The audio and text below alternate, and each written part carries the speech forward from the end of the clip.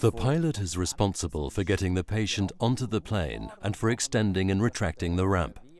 We do that like other people load shopping bags into a car. Die Rampe die ist in der This ramp was designed by Rega for the first Challenger in the 1980s. The system proved itself so well that it was also built into the new jets in 2002. This ramp weighs 44 kilos. You can roll the ambulance stretcher all the way into the aircraft. Es ist sicher einmalig in unserem Jet. This ramp is surely unique. Not every ambulance jet has one. You can wheel the patient on his stretcher quickly into the plane, whether it's a small child or an overweight person of up to 200 Oder kilos.